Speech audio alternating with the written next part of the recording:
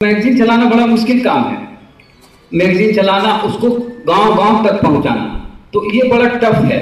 Print करवाना, फिर इसको सर्कुलेशन में सबसे ज़्यादा। लेकिन अभी सब लोग बोल रहे थे कि गाँव में जो लोग पढ़े लिखे नहीं हैं और वो सोशल मीडिया को नहीं समझते हैं तो आपको एक बात बता दूँ, इस बार मैं घर गया था, इसी बात पे रिसर्च किया था कि गाँव में भी सोशल मीडिया खूब ज़ोर से चलती है और उनके यहाँ भी सोशल मीडिया बड़े अच्छे से चली, जो पढ़े लिखे नहीं हैं। वो फेसबुक नहीं चलाते, क्योंकि जैसे ही सोशल मीडिया की बात आती है फेसबुक सोचते हैं ट्विटर नहीं व्हाट्सअप फेसबुक से ज़्यादा प्रभावी है व्हाट्सअप और गाँव गाँव के जो लोग पढ़े लिखे नहीं हैं, दिल्ली में मजदूरी करते हैं, एक मोबाइल अपने पास रखे, एक बीवी को दिए। हैं वहाँ ऐसे सेल्फी खींचते हैं अपना, और घर वाले को व्हाट्सएप पे भेजते हैं, उसमें पढ़ने लिखने की ज़रूरत नहीं। है और बीवी भी यहाँ बच्चों का फ़ोटो खींचती है, देखो, स्कूल जा रहा है बेटा। और वहाँ पहुँच गया, अरे, बेटा, स्कूल जा रहा है। इतना ही नहीं, खेती बाड़ी के लिहाज से भी बता रहे कि खेत में अनाज बो दिया, फ़ोटो खींच के भेज दिया कि खेत में अनाज बो दिए हैं, पानी पटवन हो गया तो फ़ोटो खींच के वहाँ चल गया। कोई पढ़ाई लिखाई की ज़रूरत नहीं। ये जो कहते हैं कि सोशल मीडिया शिक्षित लोगों की चीज़ है तो उसी में क्या होता है लिंक यूट्यूब का लिंक डाल दीजिए व्हाट्सएप पे, और वो ये इसको डाला, वो उसको डाला, वो उसको इस तरह से वायरल हो जाता है, और वैसे क्लिक करके सिर्फ़ देखता है तो व्हाट्सएप में ही यूट्यूब का भी चीज़ आ जाता है वीडियो वहाँ कहाँ पढ़ाई लिखाई की ज़रूरत है? एक अशिक्षित व्यक्ति के पास भी व्हाट्सएप की पहुँच है।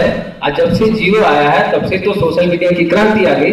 तो ज़्यादा बेहतर होगा कि फेसबुक पे एक चीज़ और फेसबुक पे लिखते हैं तो लिखावट सबका कॉमन होता है, एक जैसा लग रहा है। तो सबका ध्यान आकृष्ट नहीं कर पाता। लेकिन आप अगर एक पोस्टर बना देते हैं तो अलग दिखता है। कई कई फेसबुक पे पोस्ट में बीस बीस हज़ार तीस तीस हज़ार शेयर होता है। वीडियो तो एक पीएमसीएच में डॉक्टर रविदास डॉक्टर थे। जानते होंगे आप लोग उनको। उनके प्रिंसिपल ने उनकी पिटाई कर दी। और उस वीडियो वीडियो को हम डाले फेसबुक पे। अब 48 घंटे के अंदर पाँच लाख लोग देख लिया उसको।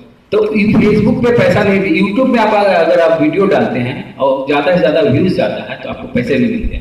तो एक चीज़ हो गया कि मैगजीन में आपका जेब से लग रहा है। आपको लोगों से लेने की ज़रूरत पड़ रही है। लेकिन YouTube में ऐसे एक स्टैंड खरीदिए, एक मोबाइल रखिए। आपको जो बात कहनी है, आप बहुत अच्छी कविता कहते हैं, बहुत अच्छी कहानी लिखते हैं। या फिर जो कुछ भी आपको समाज के लिए कहना हो, देश के लिए कहना हो, कोई दायरा नहीं। इस मैगजीन को आप किसी दूसरे देश में नहीं भेज सकते। और अगर आप YouTube वीडियो को डालेंगे, हम ही डालते हैं तो 20 परसेंट लोग इंडिया के बाहर के लोग देखते हैं। वो ऐसे ही पता चल जाएगा आपको, जैसे आप उसके डिटेल्स में जाएँगे तो वो 20 परसेंट लोग दिखाता है, सऊदी अरबिया का यूएसए वहाँ के लोग देखते हैं। तो ये सीमित हो गया। ठीक है कि एक आदत तो ना लोगों को आदत है मैगजीन पढ़ने की, कहीं भी जाते हर जगह गेट नहीं चलता। तो एक आदत अब लोगों का बदल रहा है। WhatsApp social media Facebook Times of India के साथ वो एडिशन बंद हो गया। टाइम्स ऑफ़ इंडिया इतनी बड़ी अखबार है इतना बड़ा, और उसका सात एडिशन अचानक से बंद हो गया। क्योंकि लोग जान रहे हैं कि अब दौर अखबार का पन्ना पेज का नहीं है। अब डिजिटल युग है तो आप लोग से भी करते हैं कि पासी सत्ता इसको यूट्यूब पे लाइए। अगर आपका यूट्यूब खुद देखेगा लोग तो आपको यूट्यूब वाला पैसा देगा। इस बात को ध्यान रखिए। तो वहाँ आपके जेब से पैसे लग नहीं रहे हैं, आपको उल्टे पैसे मिल रहे हैं। तो समय के साथ चलिए। जब देखिए कि बड़े बड़े अखबार बंद हो रहे हैं प्रिंट तो हम क्यों उस जगह जाएँ कि फिर हम वही चीज़ शुरू करें जो लोग बंद कर रहे हैं? हम उससे आगे क्यों ना सोचें? बीबीसी भी इस बात को समझ रहा है कि सोशल मीडिया का क्या महत्व है। और हम लोग अभी पीछे पड़े हुए मैगजीन पत्रिका के। यूट्यूब पे आ जाइए फेसबुक पे इसको जोरदार तरीके से चलाइए। तो ये ज़्यादा, ये दायरा खत्म हो जाएगा।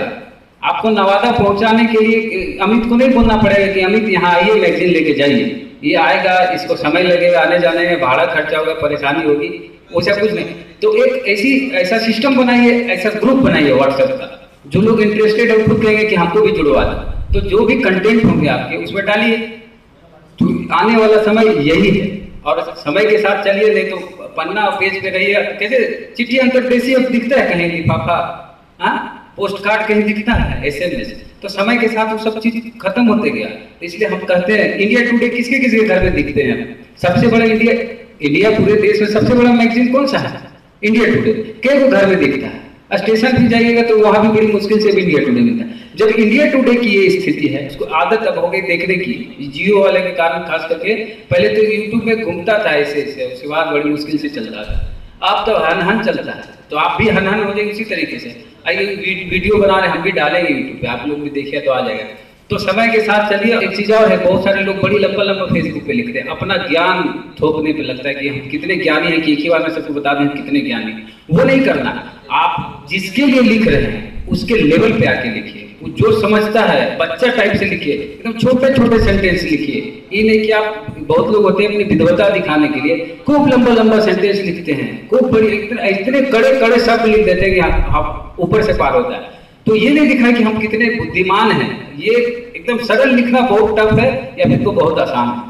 जो आम बोलचाल की भाषा है, उसी में लिखिए। अब बुद्धिमत्ता नहीं दिखाइए अब दो से तीन लाइन टू लाइनर लिखिए। जैसे दोहा होता है, दो लाइन में अपनी बात करने की क्षमता है, आप में तो आप सोशल मीडिया में हिट हैं। नहीं तो पैराग्राफ, चार पाँच पैराग्राफ पढ़ने की किसी को फुर्सत नहीं है। लिफाफा और और का जमाना गया, अब डिजिटल हो जाइए। लिखना क्या? बहुत सारे लोगों को कहते हैं कि हम कैसे लिखे, शुरू कहाँ से करें? तो हम कहते हैं कि किसी से कभी बात की है आप। तो बात तो करते ही हम लोग, हर किसी से कभी कुछ ना कुछ तो जैसे आज यहाँ से आप लोग जाएँगे तो किसी से बोलेंगे कि वहाँ क्या क्या हुआ? तो शुरुआत कहाँ से करेंगे? आप सोचिए कहाँ से करेंगे? वहाँ तो नहीं सोचना पड़ता है कि शुरू हम कहाँ से करेंगे। अरे जानते हो आज इलाहाबाद गए तो वहीं से लिखिए वही शुरू कर दीजिए मैं इलाहाबाद गया था। वहाँ पे ये लोग आए थे। इसने इसने ये कहा, इनकी बातें, ये बातें मुझे बहुत अच्छी लगी। और इनकी ये बातें सही में समाज के लिए सही दिशा में। तो ऐसे शुरू कीजिए ना, एकदम जैसे जैसे लोगों से आप बात करते हैं इंटरेक्ट करते हैं, वहीं से लिखना शुरू कीजिए। सबसे ज़्यादा डर लोगों को लगता है कि हम शुरू कहाँ से करें। तो शुरू वहीं से कीजिए।